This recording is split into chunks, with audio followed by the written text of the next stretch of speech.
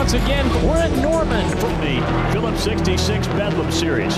It's the Cowboys and Sooners, Oklahoma State and Oklahoma meeting on this November night for this epic Bedlam game. Welcome to Bedlam, where the buildup has rarely been bigger. 116-year history of this backyard rivalry. This is what you hope for with rivalry. Unpredictable aspects of college football. This is what makes this sport exciting. On the surface, it's orderly, symmetrical, clearly defined with white lines and time, But always there, beneath the surface, Bedlam waits to break loose. It's the name of this game between two teams who share a state and mutual disdain that has always brought out their best.